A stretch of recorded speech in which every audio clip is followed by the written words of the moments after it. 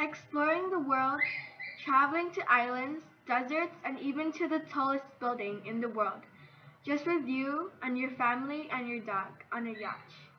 Have you ever thought about venturing out into the open world instead of just staying indoors? Well, the novel Kensuke's Kingdom by Michael Morpurgo has it all. A quote saying, Life must not be spent always hoping, always waiting. Life is for living. When you are in a difficult situation, you shouldn't keep on waiting and hoping for someone to save you or be miserable, depressed, and sad about it. This is life. You should make the best out of everything. Life is for living happily. Michael and his parents decided to seek adventure with Stella Artois, their family dog. They bought a yacht called the Peggy Sue. One night, as they were heading up through the Coral Sea towards Papua New Guinea, a disaster strikes. Michael and his dog fell off the yacht, but something did save them at that night. He wakes up on a deserted island the next day. He struggles to survive on his own on the island. He soon realized that there's someone who was watching over him the whole time and even keeping him alive.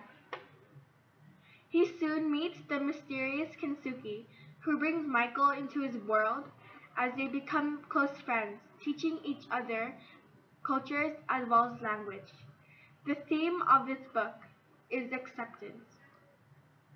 Michael knows English and Kensuke knows Japanese. Even though they communicate by sign language, they only have each other in the island. Acceptance teaches them both ways to accept each other because the two cultures are very different. As well as acceptance, the book portrays the theme of care. Michael one day got stung by a poisonous jellyfish as he nearly lost his life, but Kensuke found him and dragged him to shore. Kensuke saved his life and took care of him. A solitary man lives on this island. If you want to know his story, I recommend you to read this book, or even know will Kensuke and Michael be saved after all, or get stranded on this island forever.